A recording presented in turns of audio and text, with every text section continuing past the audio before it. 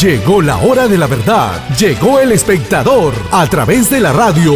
Roberto Risi y Fernando Sotomayor. Con el análisis de Trujillo. De Luis Aguilar. Abriendo paso a la verdad en Guamachuco. De lunes a viernes. De 10 a 12 del mediodía. A través de Radio Alternativa Mix. 97.7 FM.